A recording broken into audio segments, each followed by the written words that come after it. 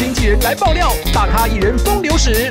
跟经纪人之间有一件事，艺人要早点说，就是感情的事件。那时候我带，有一天呢，忽然他一通电话打来，狗仔在跟拍我，哎，我想哎哎，狗仔跟拍就这个咖，你自己就有那个经验嘛，新雅也是啊，你扯到我们身上来干什么？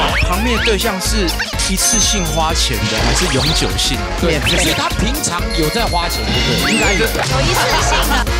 今晚九点，同学来了。